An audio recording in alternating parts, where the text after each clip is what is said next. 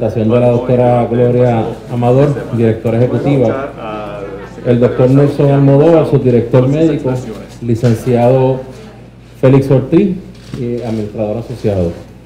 Eh, básicamente, eh, también obviamente del personal del Departamento de Salud, el subsecretario, el doctor Félix Rodríguez Smith, la principal oficial médico del departamento, la doctora Iris Cardona, y la principal oficial epidemiológica del departamento, la doctora Melissa Marzán. Eh, vamos a comenzar hablando de la iniciativa que tenemos con eh, Salud Integral de la Montaña. Eh, básicamente, pues ustedes saben, ¿verdad? Ya COVID-19, pues ya vamos para dos años y ciertamente pues hay una iniciativa que estamos trabajando junto con Salud Integral de la Montaña y es el plan, ¿verdad? Para atender el long COVID, que son los efectos a largo plazo que pudieron ocasionar el COVID, ¿verdad? Este, ya hay varias, varias eh, secuelas eh, que se están viendo en pacientes en donde han tenido COVID, que no necesariamente son pacientes que estuvieron hospitalizados, ¿verdad? Pero que ciertamente sí, pues vamos a ver diferentes condiciones relacionadas a, lo mismo y es algo que cambia el paradigma y, cambia nuestra situación salubrista en Puerto Rico, pues porque eh, una de las cosas, ciertamente, pues en la fase aguda del COVID, pues hemos tratado, ¿verdad?, de, la, que las personas no mueran, eh, ¿verdad?, y las iniciativas desde el 15 de diciembre, que ya cumplimos un año con la vacunación, pues sin duda alguna han evitado severidad y mortalidad dentro de la condición pero hay, una serie de cosas que suceden en aquellos pacientes que han tenido el COVID, ¿verdad?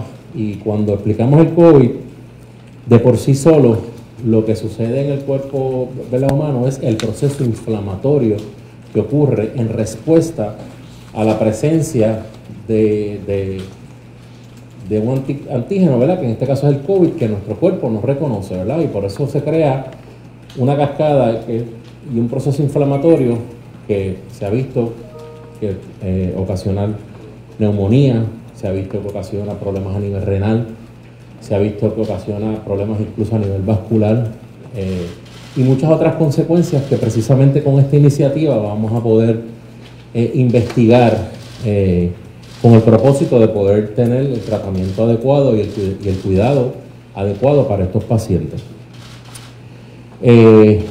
Los síntomas pues se describe que están presentes por un periodo de dos meses o más y las manifestaciones clínicas pueden ser variables y diversas como había explicado.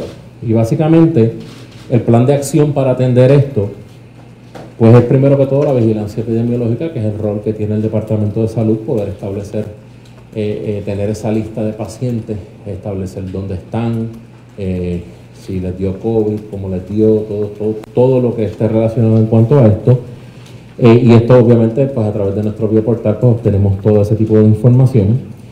También pues obviamente reportarla a las instituciones académicas y gubernamentales para poder eh, eh, ver qué tipo de ayuda más allá del tratamiento se le puede dar a estos pacientes. La investigación, ¿verdad? investigar los factores de riesgo a este COVID prolongado, si el paciente tiene enfermedad cardíaca, si el paciente es obeso, si el paciente tiene diabetes, cualquier tipo de enfermedad conmórbida que quizás pudiera exacerbar o pudiera eh, cambiar eh, El, panorama del paciente. Eh, y evaluar los efectos que tiene el long COVID en la calidad de vida. La mitigación, pues el desarrollo de política pública para los efectos a largo plazo, y obviamente pues eso es básicamente lo que hace el Departamento de Salud. Nosotros tenemos varios programas corriendo, no tan solo la detección temprana del COVID, no tan solo el sistema de rastreo a tiempo para evitar la propagación del COVID. Eh, obviamente la vacunación que hemos hablado, ¿verdad? Que eh, es el método de poder disminuir la severidad del COVID y obviamente disminuir la mortalidad y disminuir también La, capacidad de propagación. Cuando se tiene la vacuna, pues eso eh, ayuda en cuanto a eso. Y lo otro, el manejo y tratamiento, la clínica que se puedan establecer, ¿verdad? Por eso es que eh, el, más allá de COVID, ¿verdad? El Departamento de Salud, nosotros hemos decidido eh, dividir el Departamento de Salud, y no dividirlo, sino tener una estructura de vigilancia, porque ese es nuestro deber eh, constitucional, ¿verdad? Ministerial, ¿verdad? Por ley, obviamente por rango constitucional, de poder eh, prevenir y evitar las enfermedades, prevención y evaluación de las enfermedades. Por eso es que es tan importante el principal oficial epidemiológico, ¿verdad? Con toda la estructura que, tiene. Y la creación del primer oficial médico, porque precisamente con esa data es que nuestro oficial, principal oficial médico puede entonces, a través de su equipo, generar política pública y poder entonces eh, fomentar que las universidades investiguen y fomentar tratamiento y fomentar protocolos para los hospitales y nuestros médicos para poder este, tratar ¿verdad? cualquier tipo de condición más allá de, lo que suceda con el COVID. Me gustaría antes de dejar a la doctora Melissa Marzán, ¿verdad? que es la que está, va eh, ayudándonos con el proyecto, eh, dejar A, nuestros colaboradores que fueron básicamente los que trajeron el, el programa aquí al Departamento de Salud y quiero agradecer enfáticamente, ¿verdad? Eh, además de la labor que ellos realizan en salud integral de la montaña, ¿verdad? Eh, todo lo proactivo que han sido en cuanto a COVID y en otras, en en otras áreas también.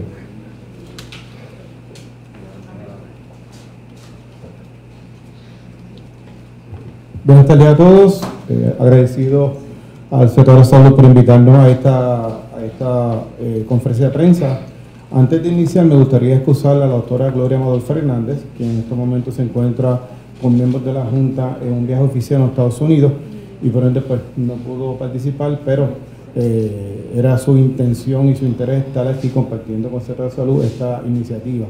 Salud la Montaña es un centro de salud primario, eh, lo que se conoce en el mercado ¿verdad? como los centros 330 o FQIC. Estamos ubicados en varios municipios de la montaña, estamos en Bayamón, Naranjito, Comerío, Damos servicio en Corozal, Alta, en Barranquita y tan como Oropovis. Eh, salud Integral fue pionero en establecer un centro de salud para atender las secuelas de los pacientes que tienen COVID. Un programa que estuvimos aproximadamente seis meses estableciendo el plan de trabajo eh, con la colaboración del Departamento de Salud. comenzamos en julio atendiendo a los primeros pacientes con médicos que son médicos generalistas y posteriormente en el mes de agosto empezamos a atender con los médicos especialistas. De esos médicos especialistas tenemos eh, neumólogos, cardiólogos, nefrólogos, reumatólogos, dermatólogos y gastroenterólogos que están todos los sábados de 8 de la mañana hasta 4 de la tarde atendiendo a la población eh, que han sido positivos a COVID. Actualmente hemos atendido cerca de 340 pacientes con una coordinación de unas 715 visitas. Eh, ha sido muy interesante lo que hemos encontrado eh, y cómo los pacientes agradecen el que sean atendidos y que podamos dar este tipo de cuidado a una área tan específica como son las secuelas eh, de los pacientes que han padecido post-COVID. me encantaría, si fuera posible, presentar un pequeño video de un testimonio de un paciente que fue atendido en nuestra clínica post-COVID. Este, si me puede ayudar el Carlitos.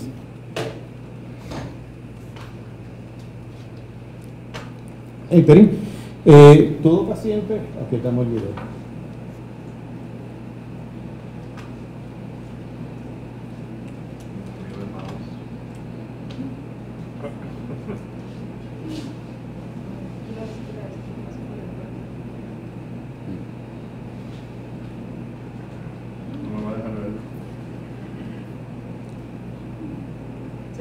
Bueno, los pacientes que deseen ser atendidos en nuestra clínica pueden comunicarse al teléfono 787-869-5900, seguir la estructura hasta que marquen el 9 y directamente ahí les lleva a un centro de llamada exclusivo para atender a los pacientes post-COVID.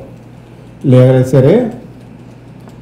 Siguen el proceso, eh, es muy fácil atenderse, les damos cita inmediatamente para todo paciente. Tiene que seguir un procedimiento para atenderse con el médico generalista y de ahí entonces se le hace una batería de pruebas y el médico determina a qué especialista va a ser referido. Para eso me gustaría dejar unos minutos a nuestro subdirector médico, el doctor Nelson Almodóvar, para que le explique un poco más del proceso de cita y, aquellos, y aquellas eh, secuelas que están presentando nuestros pacientes. Muchas gracias.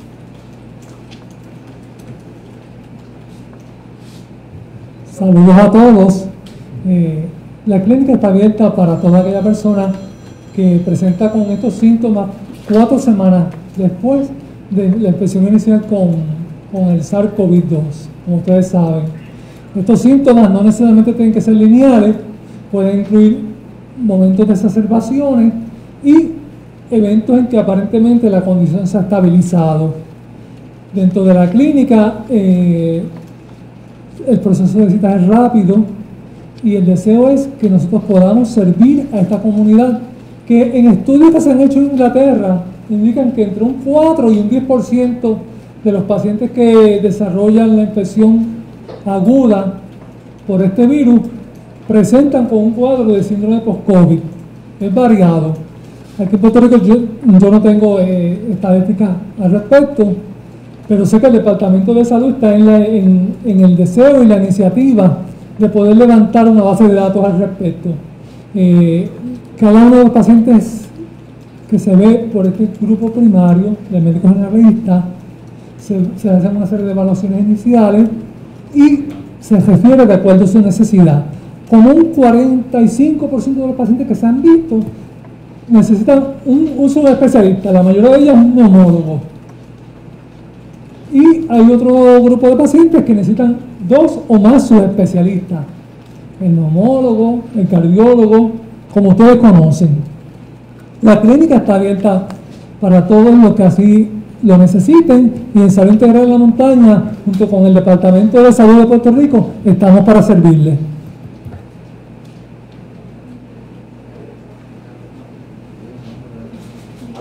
Y, perdonen, el señor Martín Montoya de comienzo se me olvidó presentarlo.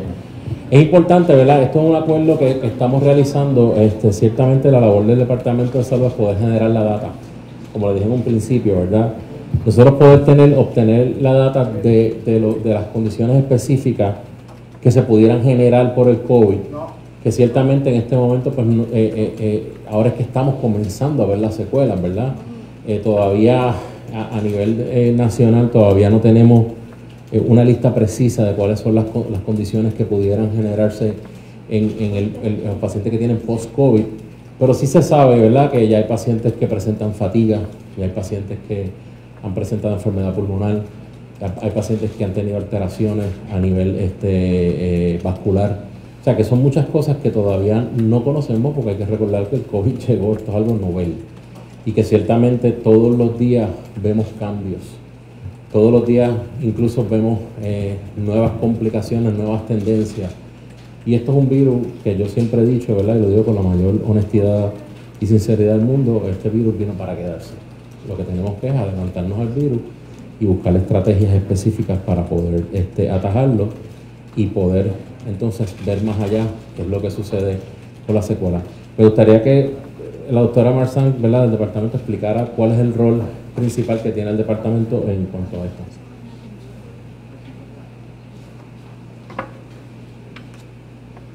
Muy buenas tardes. Eh, ciertamente comenzamos una iniciativa bastante comprensiva, comprensiva sobre lo que es el asunto de las secuelas del long COVID. En Puerto Rico para hoy al menos 190 mil personas han tenido un, ¿verdad? Son caso, fueron un caso probable o fueron un caso confirmado.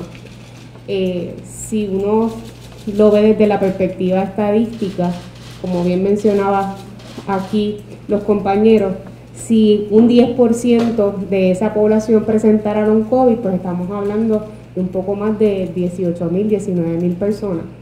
Y ciertamente es una población que requiere de nuestra atención. Bajo este plan de, trabajo hay cuatro pilares. El primer pilar que, puedo comentar es sobre la vigilancia epidemiológica y como bien mencionaron, long COVID, que es el término también que se le conoce en la literatura, apenas se desarrolló una definición por la Organización Mundial de la Salud en octubre de este pasado, de este pasado octubre. Eh, los equipos encargados en el Departamento de Salud de ir desarrollando este trabajo, que han sido la, epidemióloga Chavis Mercado la doctora Figueroa han estado evaluando esa definición y ya tenemos una definición eh, local para comenzar el trabajo de vigilancia. En epidemiología lo más difícil es sin definición no podemos contar. Así que por lo menos ya contamos con esa definición para poder comenzar el proceso de vigilancia.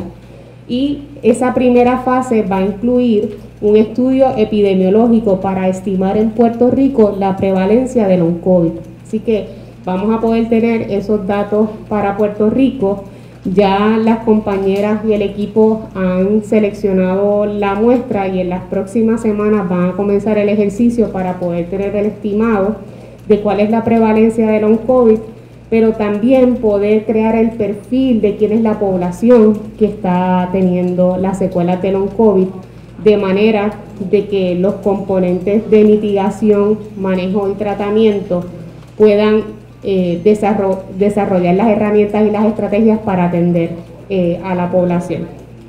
El otro, eh, de, el, otra estrategia entre vigilancia epidemiológica, el Departamento de Salud por más de 15 años cuenta con el sistema de vigilancia que se le conoce por sus siglas en inglés, el VRFSS, y ese sistema de vigilancia va a incluir un módulo de long COVID. Así que también a través de sistemas ya de vigilancia establecidos en el departamento vamos a evaluar también eh, preguntas de interés para la población en general. Eh, ciertamente, en términos del componente de investigación, sabemos que miembros de la academia en Puerto Rico han comenzado a desarrollar sus estudios sobre las secuelas del long COVID.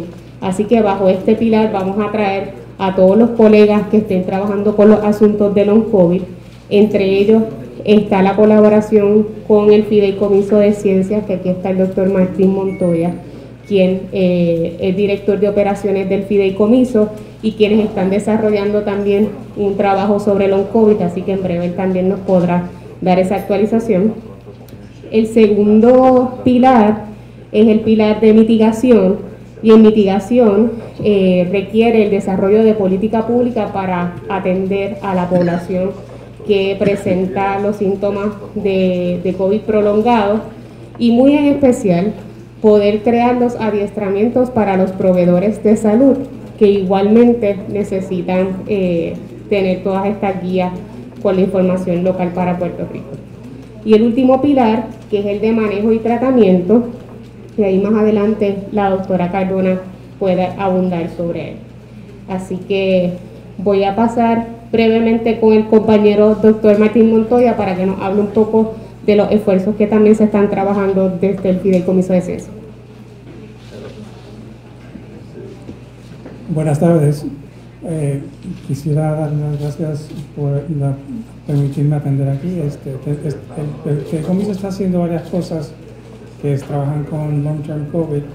Una de ellas estamos creando una red y esa red eh, estamos trabajando con un grupo de eh, científicos de Data Science para movernos a través de toda la isla, conseguir toda la información, recopilar con, con, el, con el Departamento de Salud, que han sido nuestros colaboradores en este proyecto, para entender y tener una data completa hasta, hasta donde podamos llegar de todos estos casos de personas que están eh, sufriendo de estos uh, trastornos que han pasado después de haber recibido la, una infección de, de COVID.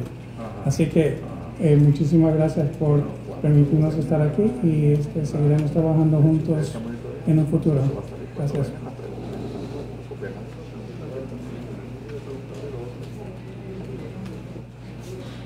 Entonces, volviendo a los cuatro pilares de este plan de acción, hablamos de vigilancia epidemiológica, hablamos de investigación, hablamos de mitigación que incluye entre otras cosas, pero no se limita a, número uno, el desarrollo de política pública sobre los efectos. ¿Qué es esto? ¿Cuáles son los efectos? ¿Y qué tenemos que hacer? Y dentro de eso, les pongo el ejemplo de las vacunas. Ahora hablamos mucho de la vacuna de COVID pero hay 17 enfermedades prevenibles por vacuna y el Departamento de Salud tiene una política pública para cada una, la prevención de cada una de estas enfermedades, toferina, eh, virus de papiloma humano, eh, hepatitis B, por ejemplo, no todo el tratamiento lo da el Departamento de Salud, es una cuestión de esta es la política pública del Departamento de Salud y esto es lo que los eh, facultativos en medicina y expertos en tratamiento deberían seguir. Eso viene atado a poder adiestrar a todo el personal médico y de tratamiento en lo que es esta nueva entidad y esto, esta nueva condición, sus efectos a largo plazo, cómo se deben manejar y sobre todo también educar a la población y a los pacientes de cómo buscar ayuda, dónde, cómo y cuándo buscar ayuda. El último pilar incluye manejo y tratamiento. Aquí las clínicas de eh, salud integral de la montaña han sido pioneros, pero la expectativa es, una vez se haya trabajado, eh, tengamos la definición, el resultado de la investigación y de la vigilancia, dónde están los pacientes en Puerto Rico, cuál es la magnitud del problema que tiene Puerto Rico, entonces replicar eh, a todos, en, todos los lugares que se pueda en la isla, el acceso a estos servicios. Es un plan eh, completo, llevamos unos meses trabajando, hemos tenido la colaboración de un equipo de profesionales jóvenes este, maravillosos que han levantado este trabajo y, déjenme decirles que Puerto Rico es la primera jurisdicción americana que levanta una definición y que empieza con este plan. Así que, secretario.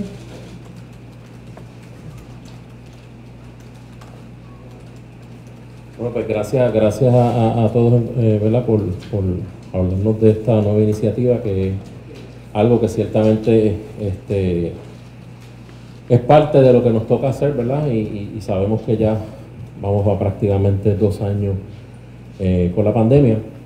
Obviamente vamos a hablar ahora este, un poquito de la situación actual en cuanto a, lo que está sucediendo en, la pandemia. Eh, estamos ante un momento de, casos, ¿verdad? Este, y eso ciertamente ustedes lo saben, este, bastante significativo. Eh, hay dos cosas que yo siempre he dicho, ¿verdad? El Departamento de Salud tiene varias, varias, este, varias iniciativas corriendo. Número uno, eh, el sistema de rastreo, ¿verdad? El sistema de rastreo de nosotros, eh, y lo tengo que decir porque acabo de venir de una reunión en Estados Unidos de secretario de salud, es un sistema que es envidiado por, muchos territorios, muchos estados. Y nos hemos dado cuenta, cada vez que existe una variante, en Puerto Rico se descubre esa variante, en este caso la Omicron, fue secuenciado por, nuestro personal del CDC aquí en Puerto Rico. Eh, ciertamente el sistema de, rastreo identificó los pacientes, identificó los casos alrededor y se pudo contener. Y ese, y ese básicamente ese, es el primer paso que se ha desarrollado en Puerto Rico y eso a, a nivel del sistema de rastreo municipal. El 15 de diciembre, ya a, un año de eso, comenzamos con el proceso de vacunación, ¿verdad? Eh, ahora mismo tenemos el, de toda la población, toda la población de Puerto Rico, toda, toda, el 72.1% de, de los pacientes con dos dosis. Eso es toda la población. Con al menos una dosis, el 82.7%. Estamos hablando ahora de tener una tercera dosis, Porque sabemos eh, que en todos los lo que lo poco que se ha podido estudiar de esta nueva variante Omicron, pues tener la tercera dosis disminuye considerablemente la severidad del de el, virus. Eh, en ese caso, nosotros tenemos 569.922. Ciertamente la exhortación a todo el mundo es ponerse la tercera dosis. Es importante que se entienda esto no lo inventa el Departamento de Salud, no lo invento yo. Yo sé que hay mucha gente que dice que la vacuna, que vamos a seguir vacunando. Sí, todos los años nos vamos a tener que vacunar. Esta es la realidad que tenemos. O sea, yo no, yo no puedo decir otra realidad que no sea, tenemos el COVID, el COVID ha tenido variantes, las variantes siempre surgen en personas que no están vacunadas.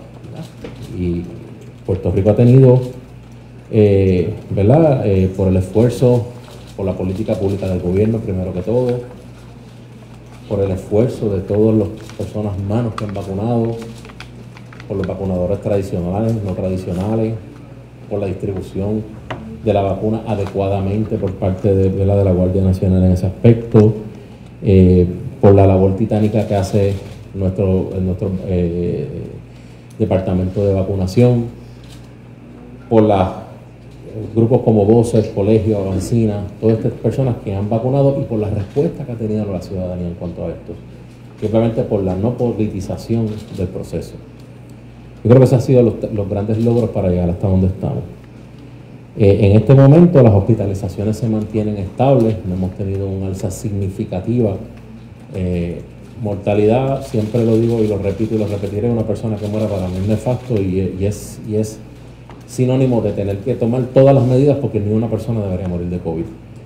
El uso de la mascarilla, el distanciamiento, eh, es importante que lo, que lo sigamos al dedillo. Eh, y en este momento, ¿verdad? Tenemos que observar eh, los casos que están surgiendo, los brotes que tenemos. Para eso me gustaría que la doctora Marzán quisiera eh, hablar un poquito sobre qué es lo que tenemos con la variante, ¿verdad? Para que nuestro pueblo esté al día de lo que está sucediendo.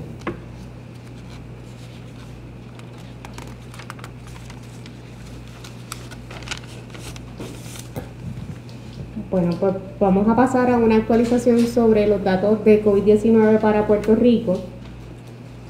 Eh, al momento, en los últimos siete días, y esto es por fecha de toma de muestra, esta es la siguiente información que nosotros hemos recibido en el bioportal. Eh, y es, un dato preliminar porque va a pasar por un proceso de, de ¿verdad? completar el proceso de calidad de datos, pero quisiera informarles que en los últimos siete días se han realizado ya 94.535 pruebas moleculares y de antígeno y de esas 4.041 son positivas. Eh, para, en términos de positividad, recordemos que la positividad solamente se calcula de las muestras que son de pruebas confirmadas o la PCR. Así que de esas, 2.252 son pruebas confirmadas y eso preliminarmente coloca eh, nuestros datos en 7.6 de positividad. Durante los últimos días, datos preliminares de igual manera, el 14 de diciembre, hasta el momento tenemos 883 casos. Eh, para el día de ayer, 15 de diciembre, Preliminarmente tenemos 1.351 casos y para hoy, hasta mediodía, hemos identificado 389 casos. Así que hemos visto el aumento sostenido de casos.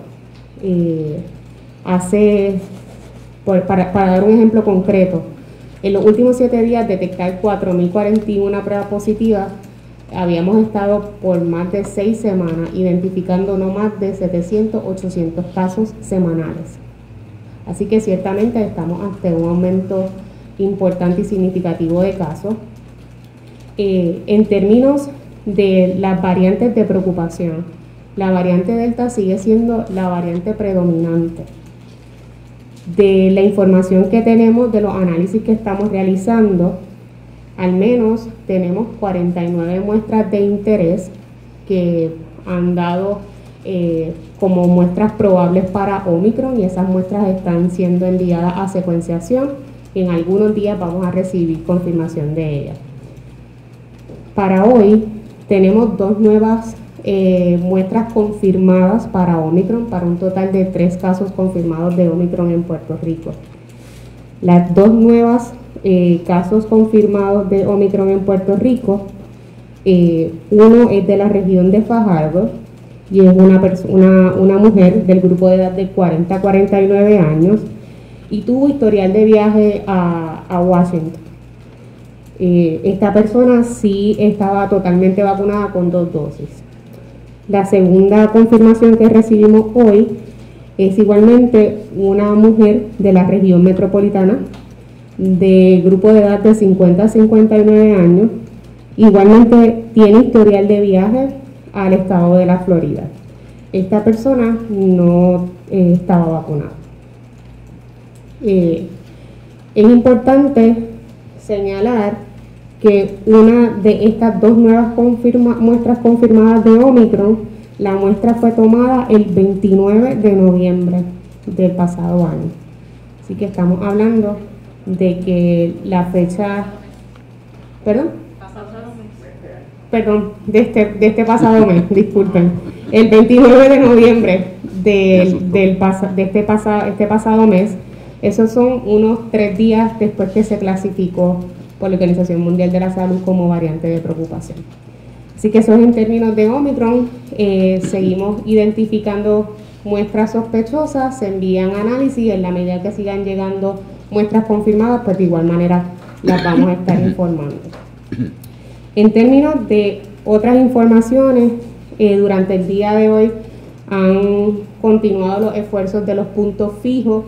Hay un llamado concreto del Departamento de Salud a que las personas que han participado de eventos multitudinarios, personas que hayan estado recientemente de viaje, personas que hayan compartido en fiestas laborales, familiares, se hagan pruebas de COVID-19.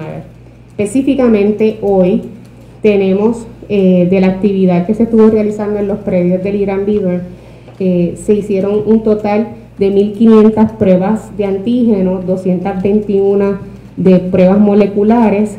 Eh, de las pruebas de antígeno tuvimos 90 pruebas que dieron positivas, para una positividad del evento de un 6%.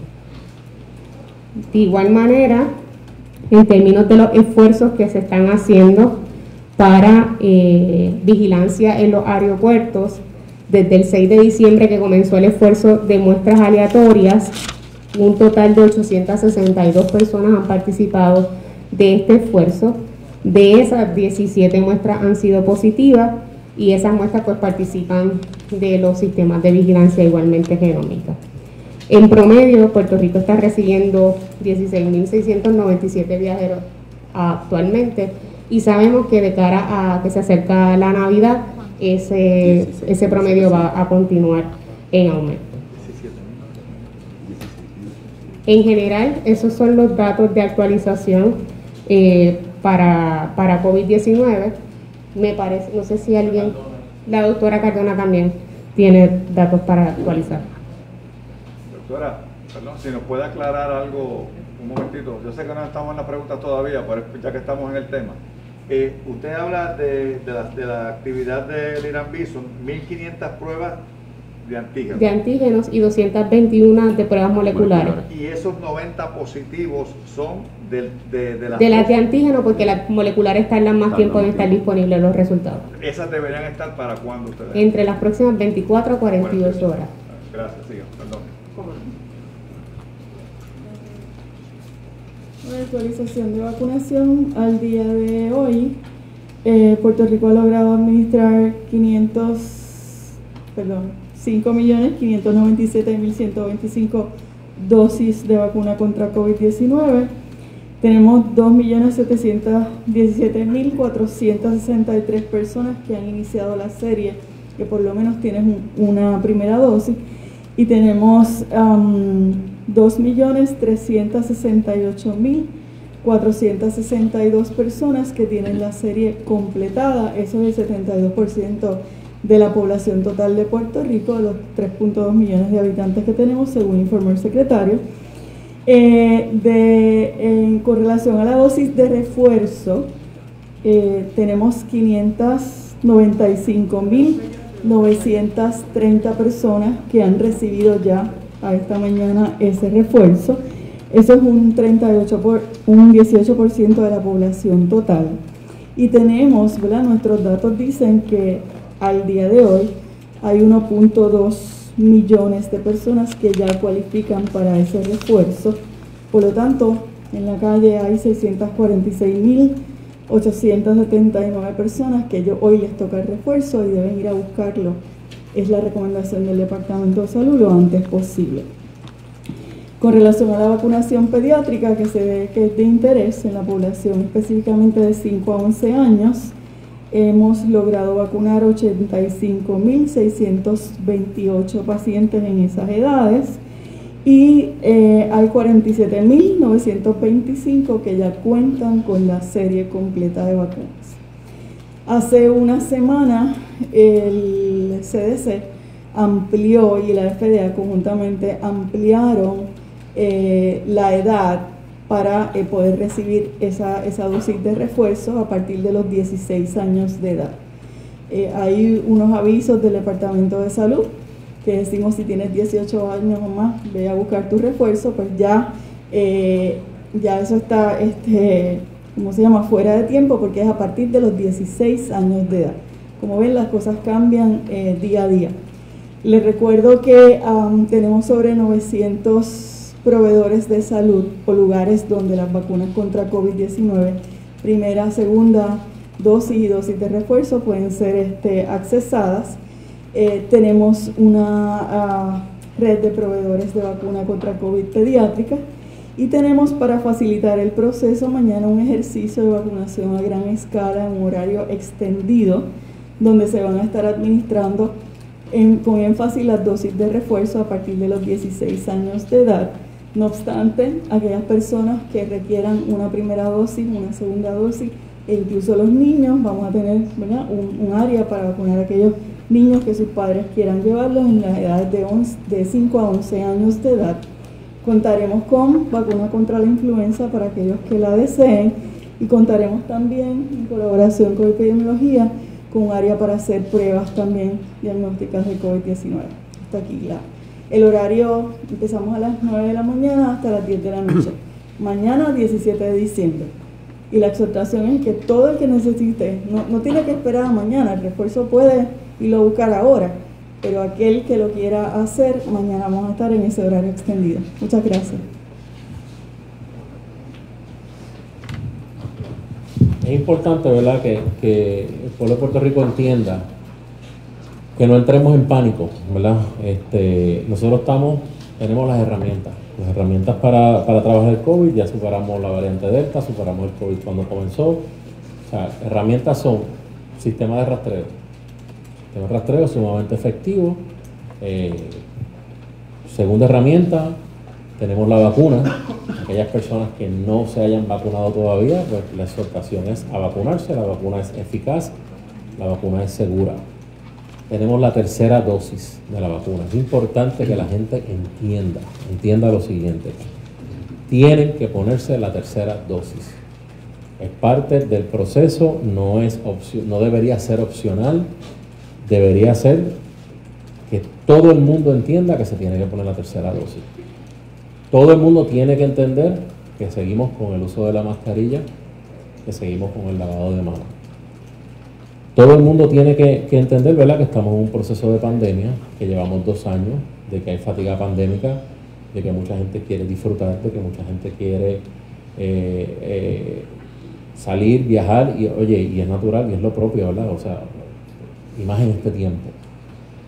Pero tenemos las herramientas de hacerse la prueba, incluso las pruebas ahora las venden en la farmacia y son tan efectivas como cualquier otra prueba para uno saber si usted estuvo en una actividad de aglomeración, usted estuvo en una actividad familiar, hágase la prueba antes de ir, hágase la prueba después.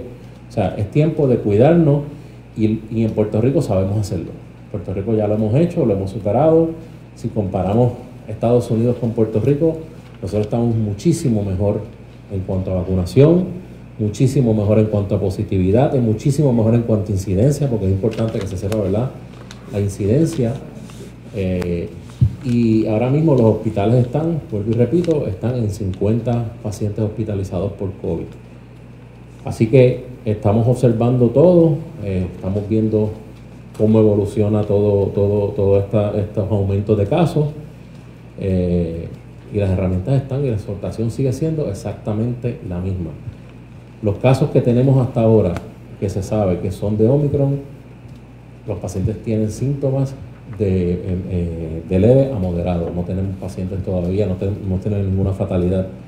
En cuanto a esto, eh, y es importante que volvemos a lo mismo, y lo voy a decir mil veces, vayan y pónganse la tercera dosis. Es importante que tengamos esa tercera dosis y es importante que nos realicemos la prueba. Así que con eso, pues, pues atendemos las preguntas. ¿Algo más? Buenas tardes compañeros, vamos a comenzar con la ronda de preguntas, dos preguntas por medio, comenzamos con un noticiero. Eh, secretario, eh, básicamente el planteamiento que ha hecho el departamento se ha basado estrictamente en, el ángulo de la vacunación. Y todos sabemos de la importancia de, la vacunación, máxime cuando ahora se habla de una tercera dosis y tal vez, como usted dice, habrá que continuar vacunándose. El problema ha sido en la práctica sobre el terreno, especialmente en los casos de eventos multitudinarios. Y hemos visto cómo constantemente siguen saliendo casos de contagios de ese tipo de eventos. Sin embargo, se siguen autorizando. Ya vemos eh, lo que ustedes han informado eh, sobre el caso de Bad Bunny, sobre las competencias de mis mundos, gente contagiada. Este fin de semana hay dos eventos importantes hay un rapero que estará en el Coliseo de Puerto Rico, que, llama mucha gente. También hay unas actividades en el Coca-Cola Music Hall. También asistirá mucha gente.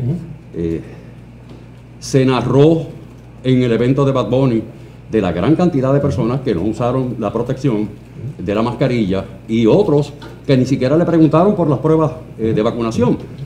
¿Cuál es realmente el, el plan del departamento para atajar a que surjan nuevos contagios?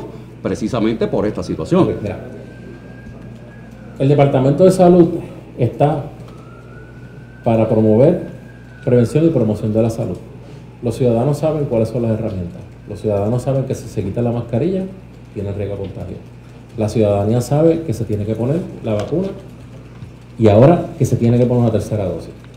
La ciudadanía sabe que tiene que realizarse pruebas. O sea, en eventos multitudinarios, por ejemplo, ahora mismo hay un montón de supermercados que hay un montón de gente, hay un montón, o sea, es, la gente se tiene que empoderar de la salud. Te puedo poner un ejemplo, por, ejemplo, la diabetes. Tenemos pacientes que usan insulina. El Departamento de Salud promueve eh, la prevención contra la diabetes, pero, pero hay gente que no hace caso, ¿entiendes? O sea, las herramientas están. secretario, pero el problema, también, el problema es que también las personas a cargo de estos eventos o en los supermercados. Tienen ser responsables. Por eso, y no están cumpliendo con eso, y el problema es que no hay quien los supervise, quien, quien dicte la política del Departamento de Salud en esos lugares. En el Departamento de Salud, cuando se presenta, por ejemplo, cuando se presenta un evento, pues el evento se le pide que sean 100% vacunados. Eh, posteriormente a esto, pues ahora se está exhortando a que se, realice la prueba antes de ir al evento. Ciertamente en algún momento podrá venir una, orden para que se haga la prueba antes de ir al evento, eso, eso está sobre la mesa. Pero el Departamento de Salud no está para estar en el evento velando si se cumple o no, es responsabilidad de, de, de los que organizan el evento que sea un evento seguro y es responsabilidad de la ciudadanía empoderarse, porque, o sea, Llevamos dos años en esto. Todo el mundo sabe que tiene que usar mascarilla. O sea, todo el mundo sabe que tiene que vacunarse. Si todavía hay personas que no se han vacunado, con más de 5.3 millones de dosis que hemos puesto en Puerto Rico, con ningún efecto adverso grave, con ninguna mortalidad por vacuna, o sea, eh, eh, eh, es complicado y entiendo tu pregunta y la frustración, pero ciertamente, o sea, las herramientas están, incluso nosotros tenemos tratamiento anticuerpo monoclonal tenemos centros de dar tratamiento anticuerpo monoclonal. Todo esto gratis, esto le cuesta cero a la ciudadanía. Está en las manos de, las personas empoderarse. Y, obviamente, si usted ve que hay una aglomeración y usted tiene una condición crónica, pues mire, no vaya a ese lugar. Esa, es la conciencia que, queremos crear. Sí, eh, doctor, eh, según los datos que dieron, eh, esta actividad del de, Irán Business del fin de semana, se está hablando de que pueden haber ido, concurrido 100.000 personas.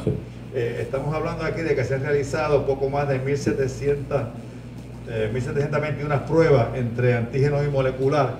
Eso no es ni un 2%. cómo van a hacer ustedes para lograr que más gente que, acudió a eso se, haga la prueba? Recuerda que no todo, un riesgo. Claro, pero recuerda que no todo el que está yendo a la hacerse la prueba de Irán fue porque fue al, evento que hubo de Bad Bunny sea, nosotros tenemos 37 centros de hacer pruebas. Este, eh, nosotros tenemos una gran cantidad, se están haciendo alrededor de 8.000 pruebas que, era que creo que vamos a hacer, ¿verdad? Diarias, De los centros fijos, 8.000 pruebas diarias. O sea, nosotros tenemos ahora mismo 37 centros fijos donde la gente, incluso allá al frente, pueden venir y cuesta cero. Eh, y vamos a aumentar la cantidad de pruebas que se puedan realizar las personas. En las farmacias, por no decir nombre de los anuncios, las farmacias venden exactamente la misma prueba. Que las tenía nosotros tienen especial a 16 dólares y tienes dos pruebas. O sea, el acceso a la prueba está. Y, y lo que estamos diciendo, mira, esto es un tiempo en donde van a haber muchas actividades y no lo vamos a poder evitar. De hecho, la gran cantidad de contagios están ocurriendo en actividades familiares. Por lo tanto, la exhortación es, primero que todo, las tres dosis de la vacuna. Y segundo, si usted va a tener una actividad, hágase la prueba antes de ir a la actividad. Y es más, hasta después de hacer la actividad, el acceso a la prueba está. O sea, por prueba no vamos a fallar, vamos a tener una gran cantidad de pruebas. Entonces, tal vez, tal vez eh, nunca vamos a, llegar a saber específicamente cuántas personas se contagiaron de, en esta actividad de fin de semana. Y antes que ella me, me, corte, eh, ¿por qué si se sabe que hay una actividad donde van a acudir este, estas docenas de miles de personas? Pues se permiten las mismas. Si, si ya se sabe y es una población, la mayoría de ellos jóvenes que no guardan las mismas precauciones que tomamos nosotros. Mira, ahora mismo, eh, José, eh, se están llevando a cabo juegos en diferentes lugares, se están llevando a cabo en Estados Unidos juegos de fútbol, en Puerto Rico vimos la serie, no vimos gran, ¿verdad? gran momento.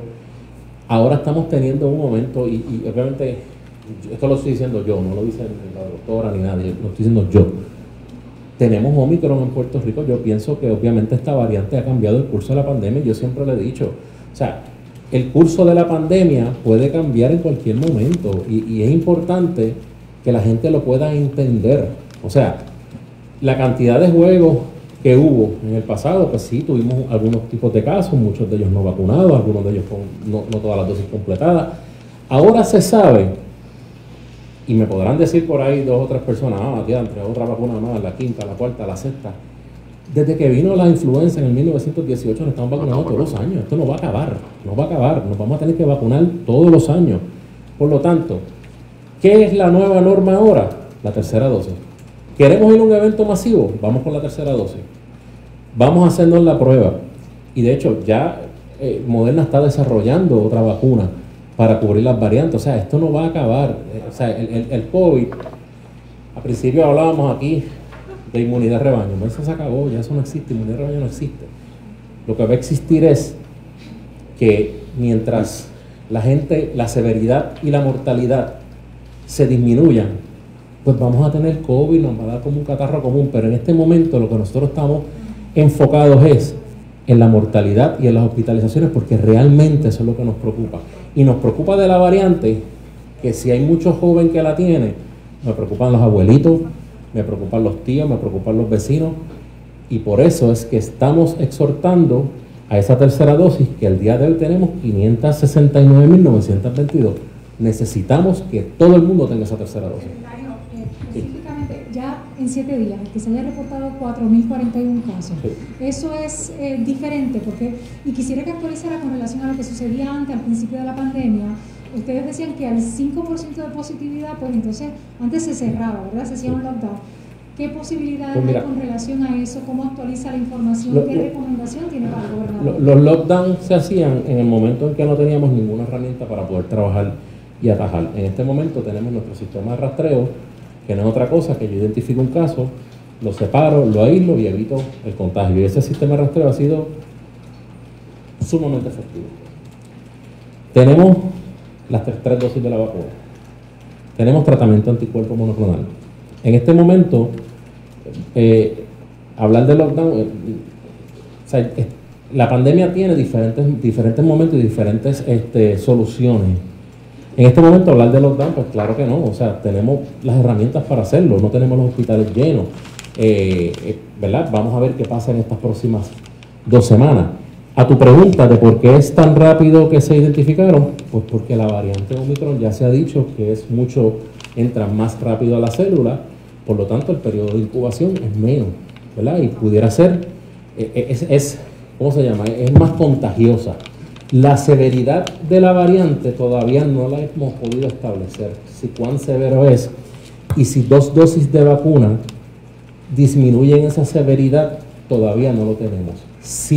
Sí ha hablado a nivel científico y en, en diferentes foros que si la tercera dosis te ayuda a disminuir la severidad de la condición. Por lo tanto, En este momento el Departamento de Salud está enfocado en que la ciudadanía entienda que esa tercera dosis es importante. Sabíamos que el departamento tenía intenciones de que unos 220 mil niños se vacunaran y estamos bastante lejos de esa cifra. 227. 227, ¿verdad? ¿Qué puede decirnos al respecto? ¿Qué llamado está haciendo? Mira, eh, nosotros estamos, ¿verdad? El Departamento de Salud está haciendo el esfuerzo máximo, tenemos todos los proveedores de los, de, ¿verdad? Eh, para la vacuna de los niños. Eh, nosotros continuamos, ¿verdad? Eh, exhortando a la ciudadanía de, eh, sobre la vacunación. Está en manos de la ciudadanía poder acudir a la vacunación o no. La doctora Cardona tiene diferentes estrategias, ¿verdad? Como una que hay mañana, este, y, vamos a seguir enfatizando. O sea, el trabajo de nosotros no para. El, departamento de vacunación, la división del departamento de, vacunación del departamento de salud no para. Y, nosotros, y todos los días están trabajando. O sea, Ciertamente sí, hubiésemos querido tener un anuncio de una mayor cantidad de niños vacunados, eh, ¿verdad? Pero está de los padres este, que los vacunen porque proveedores tenemos. Así que este, esa es la exhortación. Doctor, ¿te quería preguntar algo? ¿Hay resistencia de padres todavía? No, no hay resistencia, lo que pasa es que es un proceso un poco más complejo vacunar a un niño.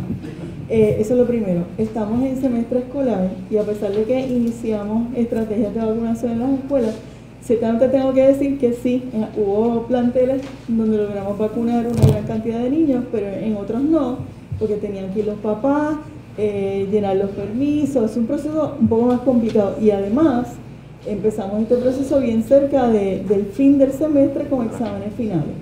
No obstante, la última semana ha habido un incremento, se están vacunando miles de niños todos los días. Estamos haciendo, hacemos un análisis, era lo que estaba buscando, del, del incremento diario. Y yo te puedo dar los datos que di son de esta mañana, probablemente esta noche tenga 2.000 o 3.000 más. Eventualmente vamos a llegar. Es un, proceso un poco más eh, complicado, por decirlo así. Eh, la expectativa es que en los próximos días, esta semana terminan las clases en la mayoría de las escuelas y vamos a ver un incremento en eso, empezando el día de mañana, que por eso decidimos dar el servicio de la vacunación para los niños en este ejercicio de gran escala.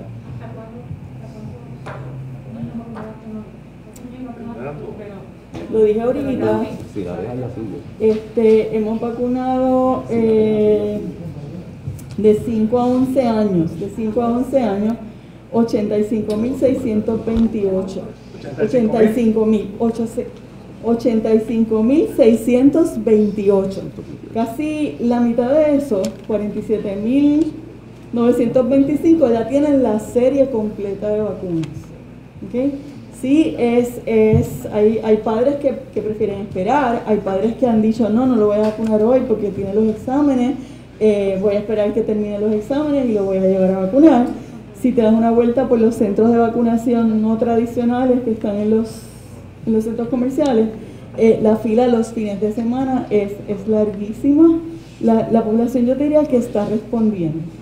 Ya yo viví esto hace un año, cuando empezamos a vacunar y primero no había vacuna suficiente y después pues, perdimos momentum, pero ciertamente somos la jurisdicción con mejor eh, cobertura de vacunación. Hasta ayer estábamos número uno, hoy amanecimos número dos nos está ganando Vermont, pero solamente por 2%. Yo entiendo que volvemos a, mantendremos, la, estaremos entre los primeros cinco. Cuando dice la mitad tiene serie completa, ¿dos o tres? Dos.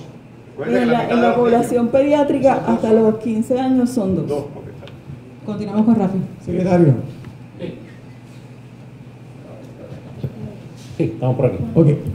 Yo quiero que me confirme si hay, una, eh, hay, un repunte que los está preocupando y, si eso se debe en mayor medida a todas estas actividades multitudinarias y si realmente ustedes están evaluando tomar unas restricciones para, para esos eventos. En este momento hay un alza, hay un alza y hay, eh, y hay varios brotes. Ciertamente yo no voy a tapar el cielo con la mano, muchos están relacionados a los eventos multitudinarios, no, no, no te puedo decir lo contrario. Nosotros estamos observando las hospitalizaciones, como te dije, ¿verdad? Y el, índice de, mortalidad, que es lo importante.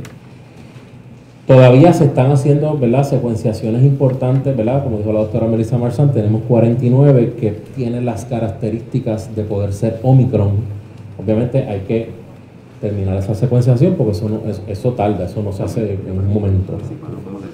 Eh, yo atribuiría quizás a varios factores. Eh, la variante Delta sigue siendo este, importante eh, también, ¿verdad? Y como lo hemos dicho, la tercera dosis de la vacuna es sumamente importante. Por lo tanto, pueden haber dos cosas, ¿verdad? Después que ha pasado tanto tiempo de la última vacunación, puede haber disminución de efectividad, como también pudiera ser un aumento de la variante Omicron. Por eso es que estamos en medio de un proceso de análisis y de investigación. Y ciertamente lo importante siempre es ver la severidad de los pacientes. ¿Verdad? Y eso es lo que nosotros estamos analizando y obviamente el rastreo para poder tener estos pacientes aislados. Para darle seguimiento a personas que han padecido del COVID-19. Sí, hola, buenas tardes. Vamos a retornar ahora a los estudios. Es que quisiera que, que aclararan, a lo mejor la doctora Marzán, eh, se habló ayer de que en el certamen de Mis Mundo eh, habían 17 contagios confirmados. Queremos saber a cuánto se ha elevado eso y cuántos, cuántos de los cuántos casos también eh, se han registrado hoy entre los asistentes del, a los conciertos de Balboni y otra cosa, si el Departamento de Salud tuvo, ¿verdad? Este, dio alguna orden, este, que a lo mejor eso lo puede contestar el secretario, si el Departamento de Salud dio alguna orden particular para que ese evento de Mis Mundo se cancelara y cuál fue entonces la gestión de la agencia referente a ese, a ese espectáculo en particular. Sobre el tema de la actividad de, de Mis Mundo, la última actualización que tengo es que en total se habían identificado 38 casos, 23 eh, eh, en candidatos, 15 en staff. Eh, y la organización decidió posponer la, cancelar la actividad. desde el inicio de esa actividad, el equipo de vigilancia de aeropuerto, quien estuvo a, apoyando y contestando las preguntas de los protocolos que estableció la organización. Siempre estuvieron en comunicación. Esta semana cuando comenzó el aumento de casos en la organización, eh, el sistema estuvo día a día, tuvimos varias actualizaciones durante los días con ellos. Eh, finalmente, eh, ¿verdad? Se les habían dado algunas opciones, las candidatas que estaban en aislamiento se tenían que quedar en aislamiento, eso no era, eso no era opcional. Así que pues la, la actividad decidió cancelarlo. fue en consulta con la agencia? Bueno, nosotros le dimos el apoyo y ¿verdad? Las, las reglas establecen que las personas en aislamiento se tienen que mantener el aislamiento, así que eh, pues no había otra manera de que, ¿verdad? A menos que ellos quisieran hacer la actividad con las personas que tenían disponibles. ¿Y en cuanto a los, a los conciertos? De actividades multitudinarias de este fin de semana, eh, hasta el momento tengo identificado 423 casos. La mayor parte de esos casos pertenecen a la región de salud de Bayamón. Pero yo quisiera mencionar y resaltar de los 4.041 casos que mencionamos, ciertamente hay personas que visitaron eventos multitudinarios, pero igual hay distintas exposiciones comunitarias. Las actividades familiares, las visitas a restaurantes, actividades laborales de Navidad. Hay muchas actividades que se están dando, que las personas se están congregando, que no se puede descansar en una sola medida de prevención. Personas que no utilizan las mascarillas cuando están en las actividades, no mantienen distanciamiento, etcétera. Así que ciertamente sabemos que tuvimos un evento particular el fin de semana, pero igual estamos viendo transmisión en otros escenarios igualmente. Se, eh, se mencionó y ahorita uno de los compañeros lo dijo, eh, esto, esto, ¿verdad? los asistentes, los asistentes a estos eventos pudieron haber llegado contagiados. Es muy probable, este, y, esto es importante porque nos preguntan cómo sabemos, por ejemplo, hoy que tenemos 423. Nosotros tenemos un sistema de investigación que una vez las personas dan positivo, esa persona se llama, se le hace una investigación, una entrevista para identificar cuáles fueron sus fuentes de exposición a esas personas se les pregunta en los últimos 14 días dónde usted estuvo, usted participó en un evento multitudinario, usted fue a un restaurante, usted fue a la iglesia. Se le hacen todas esas preguntas de exposición comunitaria. Eh, Así que, pues ciertamente por eso es que tenemos la información que sabemos que 423 personas cuando las llamamos nos dijeron, mira, yo participé de este evento. Ahora bien, igualmente durante ese proceso de investigación sabemos de personas que me dijeron, bueno, pues yo fui con síntomas, ¿verdad?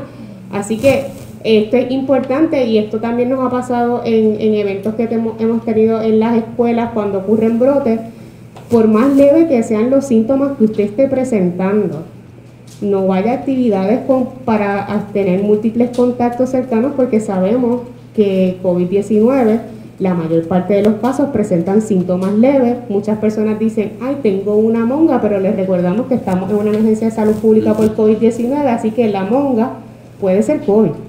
Este, así que por más leve que sean los síntomas que usted esté presentando, evite la cantidad de contactos cercanos, vaya a hacerse una prueba de COVID-19. Así que yo creo que eso es una parte importante porque hemos visto en las investigaciones de casos personas que tenían síntomas y como quiera llegaron al evento. Este, me, falta una. ¿Cuántas están relacionados a las escuelas? ¿Cuántos casos que se había dicho ayer? Y entonces eh, quería con, la gente de salud integral de la montaña, de esos 340 casos o, pacientes que, que están bajo investigación, ¿cuántos son niños o menores? Para fines de salud de la clínica, va dirigido a adultos. Adultos. Y de la primera pregunta, rapidito, de escuelas que tuvimos casos que participaron en el evento multitudinario, hay 77 identificados al menos. Esas personas que dijeron que habían ido a los eventos y que fueron aún con síntomas, ¿tendrán algún tipo de consecuencia? Desde el punto de salud pública, más que penalizar a la gente, lo que necesitamos es que las personas comprendan que esto es un asunto de que sus acciones inciden en lo que pasa en sus comunidades. Eh, le podemos dar una multa de 5 mil dólares a una persona o la multa que la penalidad que decidamos ponerle, pero lo más importante es que haya prudencia y sentido ciudadano de saber de que las acciones de nosotros impactan a los demás. Por eso es que hemos sido tan eh, enfáticos en la vacunación. Muchas personas dicen, ah, la vacunación es un asunto mío. Sí, pero usted impacta la transmisión comunitaria. Cada una de las acciones que nosotros hacemos impacta la transmisión comunitaria. Estamos de cara a una variante que es más transmisible.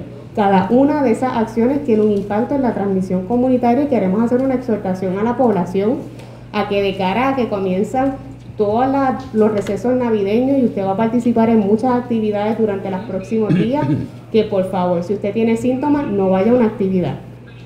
Si usted tiene síntomas, vaya a hacerse una prueba. Secretario mencionó, tenemos los centros, los puntos fijos, igual manera también las pruebas caseras para COVID-19, si usted presenta síntomas, es una alternativa. Lo que queremos es que usted sepa su estatus y evite exponer a otras personas que son su familia y sus amigos la mayor parte del tiempo. Continuamos con vos. No hay consecuencias. Yo tengo dos preguntas, las voy a hacer corridas. Me gustaría saber, dándole un poquito de seguimiento a las preguntas de los compañeros, ¿cuántas multas se emitieron en el concierto de Bad Bunny por el uso de mascarillas? Y segundo, si es correcto, hemos hablado del coronavirus, pero si es correcto que están aumentando también los casos de micoplasma. Ok, mira, antes de, de, contestar esa pregunta, para que me busque un número específico de las multas, porque no lo tengo, eh, lo que, ¿verdad? Y, lo que estaba eh, preguntando Bárbara y lo que contestó la doctora Marzán, es importante que la ciudadanía sepa, el, el, sistema de rastreo del Departamento de Salud está conectado con todos los laboratorios y todos, todos los centros que se hacen pruebas. Una vez un paciente sale positivo, lo primero que se hace es lo que ella dijo, averiguar dónde estuvo y, todo lo que, lo que ella explicó. Pero la importancia de eso es poder aislar a esa persona y poder contener ese, ese, esa propagación. Y eso lo tenemos replicado en todos los municipios. Eso es, un sistema que, vuelvo y repito, es elogiado en, Estados Unidos, en todos lados, porque nuestro sistema hasta ahora ha sido bien este, preciso. Eh, así que eso, ¿verdad? Da paz a la ciudadanía de que el Departamento de Salud puede identificar los casos de que hay una gran cantidad de epidemiólogos que se encargan de llamar a esas personas este, pero lo importante es que, como dijo la doctora Marzán, si usted tiene síntomas de congestión nasal, de gotereo nasal, de escalofrío, de que la noche antes se sintió el cuerpo cortado, no salga, hágase la prueba, que sea la prueba que hacer, las farmacias las están vendiendo. Si sale positivo, pues mire, venga, se hace el PCR Aquí al frente nosotros tenemos pruebas totalmente gratis, esto no cuesta nada, o sea, no estamos hablando que esto sea oneroso para nadie, esto no cuesta absolutamente nada. Entonces, lo de la pregunta de Yaritza, el número específico, eh, déjame buscarlo aquí. Pero sí quiero destacar que se, se viraron varias personas que no tenían este, vacunas, que no se dejaron entrar, se dieron 213 boletos eh, por la no utilización de mascarilla. También quiero destacar que se intervino con una persona que había eh, falsificado la tarjeta. Eh, había falsificado la tarjeta. vuelvo y repito, el Departamento de Salud estuvo para velar porque ocurriera el orden que debería ocurrir. Es inevitable que las personas se quiten la mascarilla, incluso ahora mismo en lugares que no son estas actividades lo hacen, o sea, es, complicado. Pero está en manos de la ciudadanía, o sea, yo creo que nosotros ya tenemos COVID-102 porque vamos para el segundo año, vemos el 101, el 102. O sea, aquí la gente sabe cómo se puede proteger. En cuanto al micoplasma, simplemente eh, el micoplasma pues también ha sido, eh, eh, en estas épocas es bastante común y obviamente pues Sí, se ha visto interpuesto con COVID, micoplasma, se ha visto influenza también, que es importante, no podemos poder perder de perspectiva también los casos de influenza en Puerto Rico.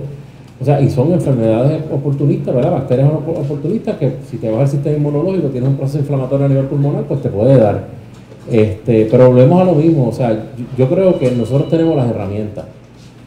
Y Omicron, o sea, no, podemos, no podemos caer en histeria no, podemos volvernos este, locos ahora mismo. Lo que sí lo que, lo que tenemos que es que no se nos olvide que nosotros podemos controlar el contagio sencillamente con el uso de mascarilla. Si usted tiene una condición de inmunocompromiso, no vaya a actividades de aglomeración. Si usted va a una actividad de aglomeración, tenga el civismo y el respeto de no quitarse la mascarilla para que no, Para, para, para evitar los contagios y sobre todo, póngase esa tercera dosis de la vacuna. O sea, y eso está requete probado. La tercera dosis es importante y todo el mundo debería tenerla. Continuamos con Celia. Secretario, pregunto, eh, hace poco eh, hubo el problema de brotes con los confinados.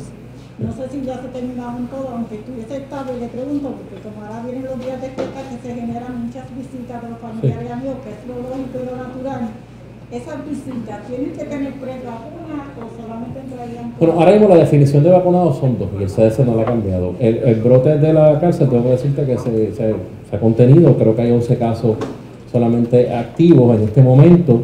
Este, yo estoy en constante comunicación con la secretaria, creo que se ha hecho una labor increíble ¿verdad? Por, parte de, salud correccional este, y hasta ahora pues vimos que una gran cantidad de casos positivos pero sin embargo no vimos severidad, gracias a Dios no, hubo eh, mayores consecuencias.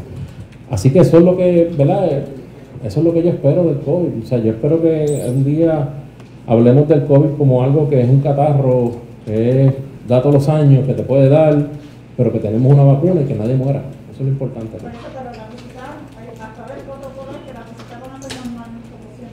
Por eso, ahora mismo sí. Ahora mismo, eh, todavía están, tengo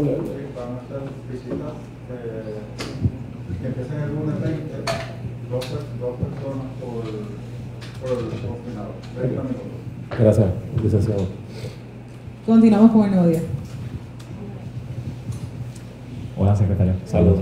Eh, tengo una pregunta primero para usted y luego para la doctora Marzán eh, sobre la tercera dosis. Se ha percibido como un poco de resistencia a que se establezca por orden, por orden administrativa o ejecutiva requerir la tercera dosis para la entrada a actividades multitudinarias, que realmente sería como la manera más fácil de avanzar esa vacunación. O sea, ¿por qué la resistencia? Mira, te voy a explicar, porque todavía el CDC no, no, no, no ha definido eh, eh, completamente vacunado, incluyendo la tercera dosis. Y, obviamente viene otra vacuna con todas, ¿verdad? Con todas las, que cubra todas las variantes, ¿verdad? En tanto y cuanto venga esa vacuna, yo creo que es más importante que esa, que esa nueva vacuna pues, sea la que, la, que predomine en este momento. No obstante, ¿verdad? Eh, nosotros estamos, obviamente, seguimos la norma del CDC porque ellos son, ¿verdad?, los que nos dan vacunas y, todo este tipo de cosas. Sí, nosotros estamos haciendo una exhortación y estamos diciendo que la tercera dosis es altamente recomendable. Si esto aumenta y esto continúa y esto y vemos que más data científica, porque recuerda que el Omicron apenas acaba de llegar y, todavía muchos de, los científicos no saben el efecto de la vacuna para disminuir la severidad. Yo te podía decir antes que con Delta, pues la vacuna protegía siete veces más, protegía 22 veces más de, de, muerte y 16 más de hospitalización. Todavía esos números no los tenemos con esta tercera dosis. Por lo tanto, sí se sabe que los pacientes que han tenido Omicron con la tercera dosis, los síntomas son leves. Y esto siempre lo hemos establecido, o sea, la vacuna no te va a proteger de que no te dé COVID, lo que te va es a disminuir la severidad y la mortalidad. Por lo tanto, nosotros estamos ¿verdad? esperando más data para poder quizás decir, pues mira, vamos a incluirla como, como, como un requisito específico, o si surge la otra vacuna que se está desarrollando por, por Moderna, pues entonces utilizamos esa vacuna. Pero hay algo expresamente de parte de los CDC que impida al Departamento de Salud hacerlo, porque por ejemplo con el COVID, eh, con las secuelas del COVID se estableció una definición local y ya se está avanzando con Claro, claro, no, no, lo hemos, no, o sea, no, es que ellos nos digan, mira, lo, que quieres que hacer o no lo tienes que hacer, lo pudiéramos establecer, lo que necesitamos es tener más data.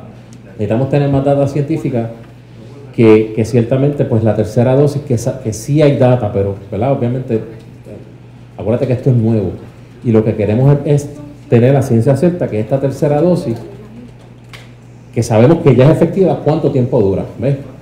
Porque ahora mismo, este, si vemos a ver, pues seis meses posteriores a la segunda dosis, se recomendaba la, tercera dosis, pero yo te estoy diciendo ahora, póntela inmediatamente. ¿Por qué? Porque mientras más anticuerpos eh, tú tengas, mejor respuesta vas a tener ante, esta nueva variante. Pero se está desarrollando una nueva vacuna que va a incluir estas variantes.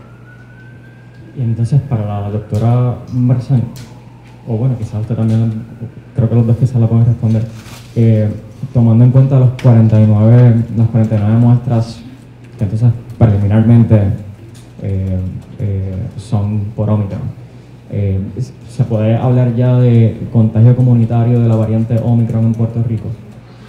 son muestras preliminares y ciertamente es responsabilidad del Departamento de Salud esperar a que llegue una, ¿verdad? la secuencia completa para confirmarlo. Pero entre esas muestras eh, que tenemos sospechosas, si hay, por ejemplo, eh, casos de personas que no tienen historial de viaje. Así que estamos en espera de, poderlo, de poder confirmar la secuenciación.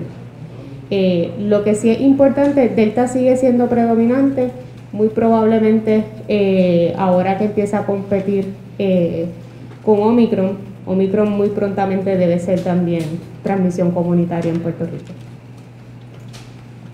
Pero no descarta que, ya tengamos algunos sectores con esa transmisión comunitaria debido a... sí, estoy mencionando que uno de los casos que tenemos, eh, verla con muestra sospechosa, una persona que no tiene, por ejemplo, historial de viaje.